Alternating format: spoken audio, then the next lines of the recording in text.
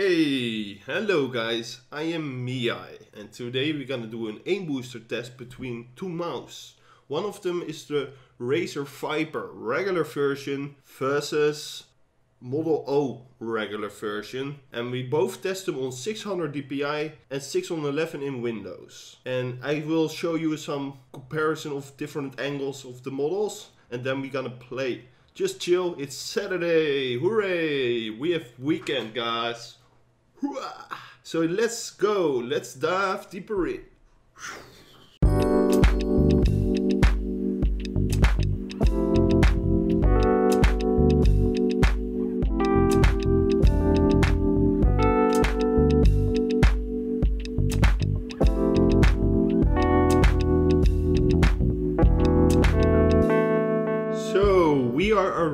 At the software. On the left you see Razer Viper 600 dpi and on the right you see glorious Model O with 600 dpi. Both activated. Click and now we have Aim Booster. It's a free to play flash game on aimbooster.com and you basically click challenge and you practice. And we start off with the Razer Viper three times. Okay, focus.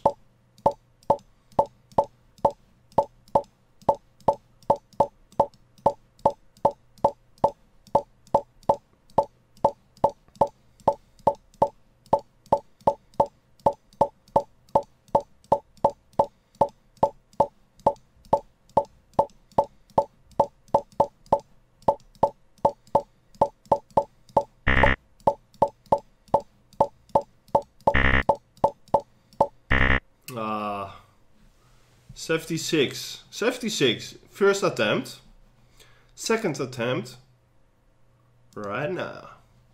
76. We can beat this, guys. I'm sure. Does it mean if I not perform very well with the Razer Viper, does it mean you can't perform very well with the Razer Viper? But I'm also good with the Razer Viper. It's not ideal for my shape, for my hand shape. G502 Hero or even a Model O is better shaped for my hands. Maybe because of uh, how I grip it. 71, also not so great. Okay, third attempt. Activator right now. It's Saturday guys. I bought some wine for live streaming. If you want to watch my live stream, it's on Twitch slash MeI1 not one in num uh, letters, but one in number. So me, I won, and then you can watch it if you want it. I do a lot of KovaaK's and StarCraft and Counter Strike, and maybe Borderlands 3 actually. So.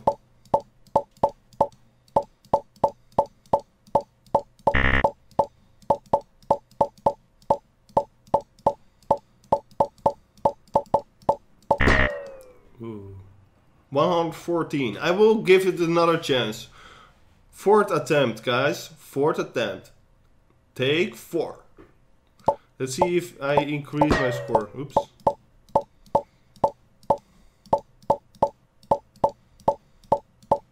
Because I changed a lot of mice and my position is not so great with this mouse.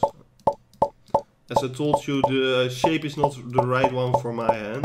But it's an amazing mouse, guys. If you like it, it can be amazing for you. Not so great for me, but... Ah, I feel...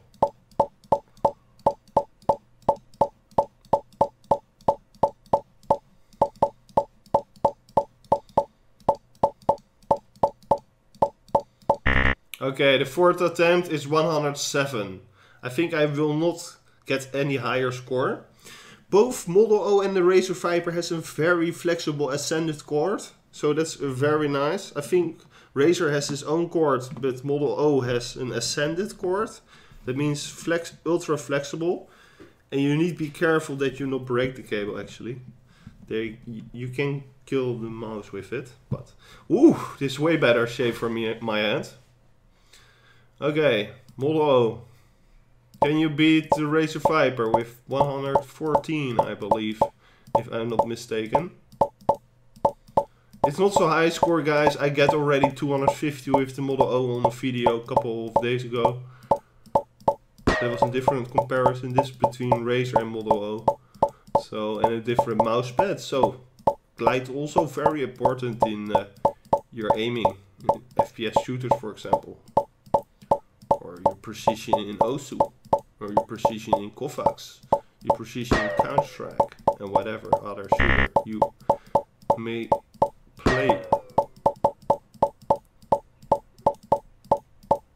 It's actually pretty hard to talk, communicate, and at the same time perform very well in um, in Booster.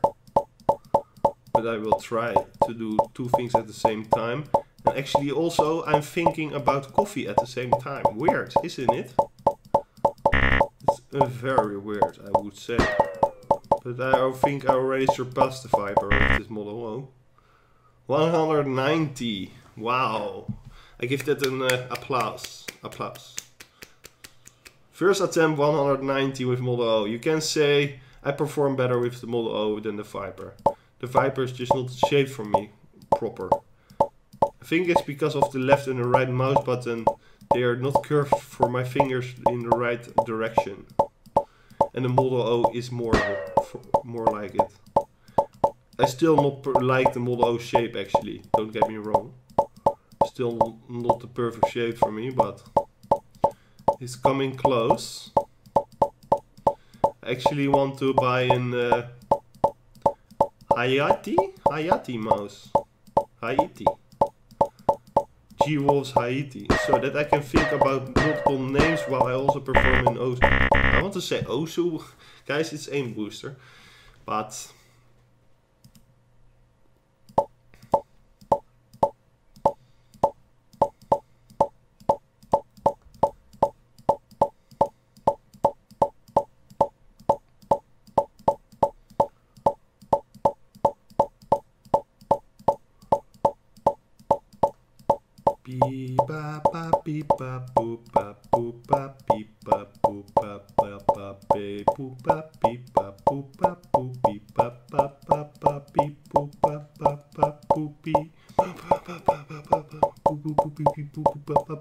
I try to uh, annoy myself so I get a shitty score.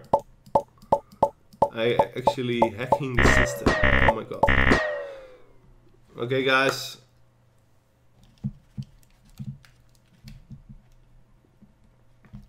So guys, this was the video. I know I did only two attempts with, uh, with the Model O, but I performed better already in the first attempt with the Model O. It's not the Razer Viper is an awful shape, don't get me wrong. Maybe I should buy the Razer Viper Mini and it's maybe better for my hand. But I think I go for the G-Wolves Haiti. And it's similar as the G Pro wireless shape. And the G Pro wireless I already tested in the store and it was an amazing shape. Why do I like a G Pro wireless, for example? The buttons are rounded. That means you can place them anywhere on the buttons. Curved buttons like Razer Viper, you can only place them in the curve, curveness.